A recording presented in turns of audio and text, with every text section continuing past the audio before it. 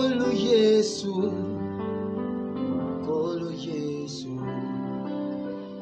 nkolo yesu nkolo yesu ozali mokonzi na ngai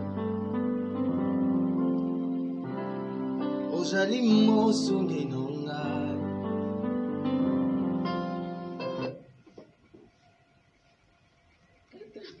pile esili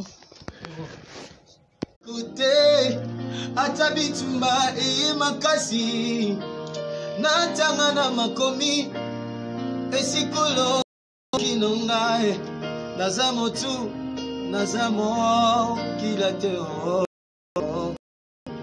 elongo to nakwa elombe na nga azali ozali okolo na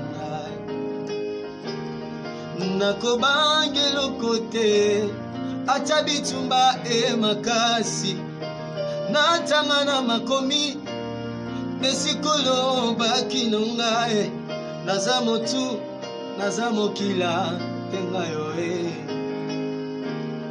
eya na ntongo to na butu ngai o moto ya makasi na ngai azali yo ozali o eh, eh. nazwa na nga ngoluti ya kobotama mwana ya mokonzi nazwa mpe ngolute o oh, ya kokola na fami ya mbongo nazwa kaka ngolu ya koyeba nzamba mireye nazwa kaka ngolu ya koyeba zambi na bomoi lokola nga nayebi yo yo nde osimbi bozwi nyonso tika nakangama na nzambe oyo asalaka na ntango na ye na ntango na ye moyo nazwa na ngango lute oo ya kobotama mwana ya ministre mboka nazwa mpe ngolute ngai oo ya kokola na fami ya mbongo nazwa kaka ngolu présence suffit pour combler nos cœurs. Une verge dans ta présence fleurit, car tu sais restaurer. Emmanuel, car tu sais donner la vie. Emmanuel. Je le dis bien, une phrase de ta bouche suffit. Reba, pour changer nos âmes, Yahweh venant de toi fils car tu sais élever et manier, car tu sais donner la vie et manier. Yahweh, Yahweh, Yahweh.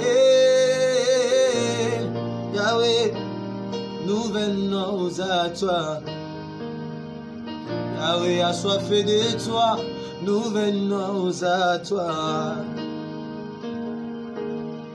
nani na yo na likolo pawa na se na kati ya motema nanga e je connais qu'un seul amour zambi oyo andima komikaba komipesa mpo nanga ya kokana nyonso yoza nyonso motuya na ngai ah, yoza nyonso motuya na ngai eh, eh, eh.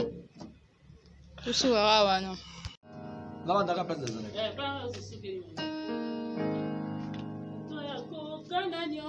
na nyango nakokanisa na yo na likolo pawa na se mpo na kati ya motema nanga eh, je connais qu'un seul amour nzambo ya ndima komikaba komipesa mpo na nga mokonzi oyo akokana nyonso yoza nyonso ya motuya na ngai eh. ah, oza oh, nyonso ya motuya na ngai Emma, Emma, Emmanuel, Emmanuel.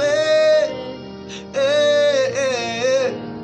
yananga ema molima motema nanga eh. emaniwe eh, emaniwe eh. nyonso yanga Emma, Emma, ah, ah. na nyambo nakokanisa na yo na likolo pawa na se mpo na kati ya libonga selamu ya yesu andima komibonza komipesa mpo na ngai mokonzi ya kokana nyonso sio ndenge na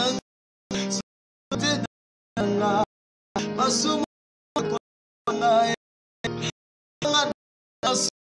yawe nyonso motuna te bateo ozo motuya na baninga basi oya za nyonso tuya na ngai ema na nga ayae eh, ayae eh. hmm, ça me pousse à dire ceci. Parce que asekwisinyo yangae kingana bema lokezilanko masi azalise kwimtubidimunda mwa